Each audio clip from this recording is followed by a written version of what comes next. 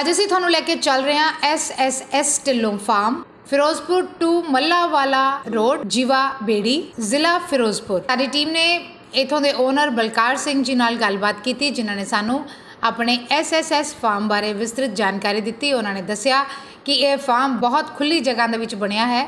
ਇੱਥੇ ਹਜ਼ਾਰ ਤੋਂ ਵੀ ਵੱਧ ਲੋਕ ਇੱਕ ਜਗ੍ਹਾ ਦੇ ਉੱਪਰ ਇੱਕ ਫੰਕਸ਼ਨ ਇੱਥੇ ਅਟੈਂਡ ਕਰ ਸਕਦੇ ਨੇ। ਬੇहद ਖੂਬਸੂਰਤੀ ਨਾਲ ਸਜਾਇਆ ਇਹ ਫਾਰਮ ਚੌ ਹਰਿਆਲੀ ਔਰ ਹਰਿਆ ਭਰਿਆ ਵਾਤਾਵਰਣ। ਅਗਰ ਤੁਸੀਂ ਕੇਟਰਿੰਗ ਦੀ ਸੁਵਿਧਾ ਵੀ ਲੱਭ ਰਹੇ ਹੋ, ਤੇ ਉਹ ਵੀ ਇੱਥੇ ਹੀ ਉਪਲਬਧ ਮਿਲੇਗੀ।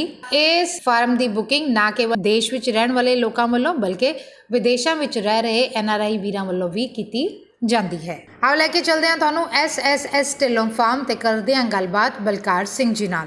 ਦਰਸ਼ਕੋ, ਪੰਜਾਬ ਪਲਸ ਚੈਨਲ ਤੇ ਤੁਹਾਡਾ ਸਵਾਗਤ ਹੈ। ਅੱਜ ਅਸੀਂ ਆਏ ਹਾਂ ਮਾਲਵੇ ਦੇ ਇੱਕ ਐਸੇ ਪ੍ਰਸਿੱਧ ਸਥਾਨ ਦੇ ਉੱਪਰ, ਜਿਹੜਾ ਕਿ ਆਪਾਂ ਦੇਖ ਰਹੇ ਹਾਂ।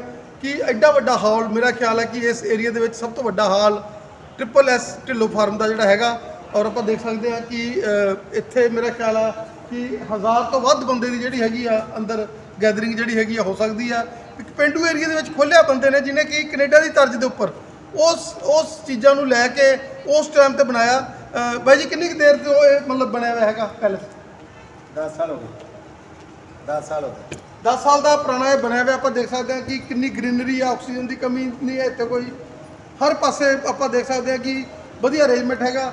ਵੀਰ ਜੀ ਕੀ ਕਹਿਣਾ ਚਾਹੋਗੇ ਕਿ ਕਾਫੀ ਦੇਰ ਤੋਂ ਹੀ ਇਹ ਜਿਹੜੀ ਸੇਵਾਵਾਂ ਚੱਲ ਰਹੀਆਂ ਨੇ ਔਰ ਹਜ਼ਾਰ ਤੋਂ ਵੱਧ ਬੰਦੇ ਵੀ ਹੋ ਜਾਂਦੇ ਆ? ਹਾਂ ਯਾਰ ਤੋਂ ਬਾਅਦ ਹੀ। ਮਤਲਬ ਹਾਲ ਦੇ ਵਿੱਚ? ਹਾਂਜੀ ਹਾਂਜੀ। ਮੇਰਾ ਖਿਆਲ ਹੈ ਕਿ ਇਸ ਏਰੀਆ ਦੇ ਵਿੱਚ ਕੋਈ ਵੀ ਐਸਾ ਹਾਲ ਨਹੀਂ ਹੋਣਾ। ਹਾਂ। ਬਾਜੀ ਇਲਾਕੇ ਦੀ ਸ਼ਾਨ ਹੈ 3SS ਜਿਹੜਾ ਢਿੱਲੋ ਫਾਰਮ ਹੈ ਜਿਹੜਾ ਅਸੀਂ ਦੇਖ ਸਕਦੇ ਹਾਂ ਕਿ 10 ਸਾਲ ਪਹਿਲਾਂ ਜਸ ਕ੍ਰੀਏਸ਼ਨ 'ਚ ਤੁਸੀਂ ਬਣਾਇਆ। ਕਿ ਐੱਨ ਆਰ ਆਈ ਵੀਰਾਂ ਦੇ ਜਿਸ ਤਰੀਕੇ ਨਾਲ ਫੰਕਸ਼ਨ ਹੁੰਦੇ ਸੀ ਉਸ ਟਾਈਮ ਦੇ ਉੱਪਰ, ਜਿਵੇਂ ਉਹ ਇਕੱਠ ਕਰਕੇ ਖੁਸ਼ ਹੁੰਦੇ ਸੀਗੇ ਕਿ ਬਹੁਤ ਤੋਂ ਵੱਧ ਇਕੱਠ ਹੋ ਸਕੇ। 1000 ਬੰਦਾ ਅਸੀਂ ਦੇਖ ਸਕਦੇ ਹਾਂ ਕਿ ਐਡਾ ਵੱਡਾ ਹਾਲ ਮੇਰਾ ਖਿਆਲ ਆ ਵੀ ਇਸ ਏਰੀਆ ਦੇ ਵਿੱਚ ਇੱਕ ਬਹੁਤ ਹੀ ਯੂਨੀਕ ਚੀਜ਼ ਤੁਸੀਂ ਬਣਾਈ। ਕੀ ਕਹਿਣਾ ਚਾਹੋਗੇ ਕਿ ਅੱਜ ਅਸੀਂ ਦੇਖ ਸਕਦੇ ਹਾਂ ਗ੍ਰੀਨਰੀ ਆਕਸੀਜਨ ਦੀ ਕਮੀ ਜਿਵੇਂ ਪਿਛਲੇ ਸਮੇਂ ਦੇ ਸੀਗੀ ਹਰ ਚੀਜ਼ ਨੂੰ ਧਿਆਨ 'ਚ ਰੱਖ ਕੇ ਇਹ ਪੈਲਸ ਬਣਾਇਆ ਗਿਆ। ਹਾਂਜੀ ਵੀਰ ਜੀ, ਇਹ ਬਹੁਤ ਵਧੀਆ ਅਸੀਂ ਆਪਦੀ ਕੋਸ਼ਿਸ਼ ਕੀਤੀ ਆ ਕਿ ਹਰੇਕ ਚੀਜ਼ ਦੀ ਸਹੂਲਤ ਮਿਲੇ, ਇਲਾਕੇ ਨੂੰ ਦਿੱਤੀ ਆ ਸਹੂਲਤ। ਮਤਲਬ ਸਾਡੇ ਇਲਾਕੇ ਦੇ ਵਿੱਚ ਮੈਰਿਜ ਪੈਲਸ ਇੱਥੇ ਲਾਗੇ ਕੋਈ ਨਹੀਂ ਹੈਗਾ ਸੀ। ਮਤਲਬ ਪਹਿਲਾਂ ਸਾਡੇ ਗਵਾਂਢੀਆਂ ਨੇ ਬਣਾਇਆ, ਫਿਰ ਅਸੀਂ ਬਣਾਇਆ, ਦੋਨੇ ਪੈਲਸ ਵਧੀਆ ਬਣੇ ਆ। ਤੇ ਹਰੇਕ ਚੀਜ਼ ਦੀ ਸਹੂਲਤ ਤੇ ਇੱਥੇ ਹਜ਼ਾਰ ਬੰਦੇ ਦਾ ਅਰੇਂਜਮੈਂਟ ਹੈ ਤੇ ਹਰੇਕ ਚੀਜ਼ ਦੀ ਮਤਲਬ ਸਹੂਲਤ ਮਿਲਦੀ ਇੱਥੇ। ਬਾਈ ਜੀ, ਸਭ ਤੋਂ ਵੱਡੀ ਗੱਲ ਹੈ ਐੱਨ ਆਰ ਆਈ ਵੀਰ ਆ ਜਿਹੜੇ ਉਧਰੋਂ ਕਰ ਦਿੰਦੇ ਆ ਤੇ ਫਿਰ ਕਹਿੰਦੇ ਵੀ ਬਾਈ ਢਿੱਲੋਂ ਰੇ ਆਪੇ ਕਰਨਗੇ। ਇਹ ਕੀ ਕਾਰਨ ਆ ਕਿ ਉਹਨਾਂ ਨੂੰ ਉੱਥੇ ਉਹ ਕਹਿੰਦੇ ਵੀ ਸਾਰਾ ਬੋਝ ਤੁਹਾਡਾ ਵੀ ਉਹਨਾਂ ਨੇ ਤਾਂ ਆ ਕੇ ਜਿਵੇਂ ਕੋਈ ਅਫਸਰ ਖੜੇ ਹੁੰਦੇ ਖੜ ਜਾਂਦੇ ਆ ਤੇ ਸਾਰਾ ਪ੍ਰੋਗਰਾਮ ਭੁਗਤਾਉਂਦੇ ਹੋ ਹੋਰ ਵੀ ਜਿਹੜੀਆਂ ਚੀਜ਼ਾਂ ਚਾਹੀਦੀਆਂ ਉਹ ਵੀ ਫਰਨੀਚਰ ਤੱਕ ਵੀ ਉਹਨਾਂ ਦਾ ਰੇਜ਼ ਕਰਾ ਦਿੰਦੇ ਹੋ ਕਿਵੇਂ ਮਤਲਬ ਇੰਨਾ ਤੁਸੀਂ ਲੋਕਾਂ ਦੇ ਦਿਲਾਂ 'ਚ ਘਰ ਘਰ ਬਣਾਇਆ 10 ਸਾਲਾਂ 'ਚ? ਭਾਜੀ ਦਿਲ ਤਾਂ ਹੀ ਬਣਦਾ ਜੀ ਹਰੇਕ ਚੀਜ਼ ਦੀ ਸਹੂਲਤ ਦਿੱਤੀ ਹੁੰਦੀ ਆ ਤੇ ਮੰਨ ਲਓ ਜੇ ਉਹ ਐਨਆਰ ਵੀਰ ਜਾਂ ਕੋਈ ਆਪਣੇ ਲੋਕਲ ਵੀਰ ਵੀ ਕਹਿ ਦਿੰਦੇ ਆ ਕਿ ਸਾਨੂੰ ਆਹ ਚੀਜ਼ ਚਾਹੀਦੀ ਆ ਫਿਰ ਅਸੀਂ ਆਪ ਹੀ ਉਹਨਾਂ ਨੂੰ ਸਹੂਲਤ ਦੇ ਕੇ ਹਰੇਕ ਚੀਜ਼ ਦੇਈਦੀ ਤੁਸੀਂ ਪਿੰਡ ਦੇ ਰਹਿਨਮਾਈ ਕੀਤੀ ਹੈ ਸਰਪੰਚ ਰਹੇ ਹੋ ਔਰ ਸੇਵਾ ਕਰ ਕਰੀ ਹੈਗੀ ਆ ਲੰਬਾ ਸਮਾਂ। ਕੀ ਕਹਿਣਾ ਚਾਹੋਗੇ ਕਿ ਲੀਡਰ ਦੀ ਕੁਆਲਿਟੀ ਤੁਹਾਡੇ ਚ ਪਹਿਲਾਂ ਸੀਗੀ ਔਰ ਉਹ ਕੁਆਲਿਟੀ ਨੇ ਵੀ ਨਾਲ ਅਟੈਚ ਹੋ ਕੇ ਇਹਨੂੰ ਸੋਨੇ ਦੇ ਸੁਹਾਗੇ ਲਾਏ? ਜੀ ਕੁਆਲਿਟੀ ਕਰਕੇ ਹੀ ਮੰਨ ਲਓ 22 ਸਾਲ ਦੇ 25 26 ਸਾਲ ਦੀ ਉਮਰ ਸੀ ਜਦੋਂ ਸਰਪੰਚੀ ਕੀਤੀ ਆ। ਮੰਨ ਲਓ ਪਿੰਡ 'ਚ ਵੀ ਪਿਆਰ ਮੁਹੱਬਤ ਨਾਲ ਰਹੀਦਾ, ਹਰੇਕ ਚੀਜ਼ ਨਾਲ ਯਾਰ ਦੋਸਤ ਬਹੁਤ ਨੇ, ਫਿਰੋਜ਼ਪੁਰ ਤੋਂ ਲੈ ਕੇ ਮੱਲਾਂ ਵਾਲੇ ਤੱਕ, ਮਊ ਤੱਕ, ਮੇਰਾ ਨਾਮ ਪੁੱਛ ਸਕਦੇ ਜੋ ਤਾਂ ਆਪੇ ਤੁਹਾਨੂੰ ਦੱਸ ਦੇਣਗੇ ਕਿ ਇਹ ਢੱਲੋ ਪੈਲਸ ਵਾਲਾ ਬਲਕਾਰ ਸਿੰਘ।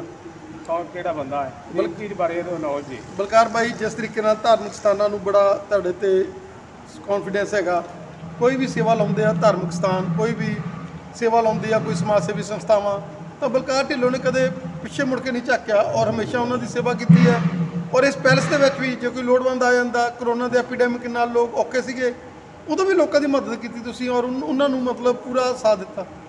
ਬਹੁਤ ਵਧੀਆ ਵੀਰ ਜੀ ਇਹ ਸਵਾਲ ਤੁਸੀਂ ਕੀਤਾ ਹੈ। ਅਸੀਂ ਗਰੀਬ ਰੇਖਾ ਵੀ ਵੇਖ ਕੇ ਚੱਲਦੇ ਆ ਜੇ ਮੰਨ ਲਓ ਕੋਈ ਜ਼ਿਆਦਾ ਮੰਨ ਲਓ ਮਹੱਤਵ ਬੰਦਾ ਵਾ ਉਹਦਾ ਵੀ ਫੰਕਸ਼ਨ ਜਿਹੜੇ ਵੀ ਸ- ਹਿਸਾਬ ਨਾਲ ਰੇਟ ਤੇ ਹੁੰਦਾ ਕਰਵਾਈਦਾ। ਬਾਕੀ ਗੁਰੂ ਦੇ ਨੂੰ ਤੇ ਪਿੱਛਾ ਕਦੀ ਕੀਤਾ ਹੀ ਨਹੀਂ ਗਾਣੀ ਜੀ। ਔਰ ਕੈਟਰਿੰਗ ਦੀ ਗੱਲ ਕਰ ਲਈਏ ਤਾਂ ਤੁਸੀਂ ਕੈਟਰਿੰਗ ਦੇ ਲੋਕੀ ਜਿੰਨਾ ਕੈਟਰਿੰਗ ਚ ਕਰਦੇ ਆ ਤੁਸੀਂ ਉਨੇ ਦੇ ਚ ਪੈਲਸ ਵੀ ਨਾਲ ਤੇ ਕੈਟਰਿੰਗ ਵੀ ਨਾਲ। ਕੀ ਕਾਰਨ ਆ ਵੀ ਇੰਨੇ ਥੋੜੇ ਪੈਸਿਆਂ 'ਚ ਵੀ ਤੁਸੀਂ ਲੋਕਾਂ ਦੇ ਜਿਹੜੇ ਸੌਦੇ ਅ, ਭੁਗਤਾ ਦਿੰਦੇ ਹੋ ਵਿਆਹ? ਵੀਰ ਜੀ ਸਾਡਾ ਏਰੀਆ ਜਿਹੜਾ ਬਾਰਡਰ ਦੇ ਨਾਲ ਲੱਗਦਾ ਹੈ ਬੈਕਵਰਡ ਏਰੀਆ ਹੈ।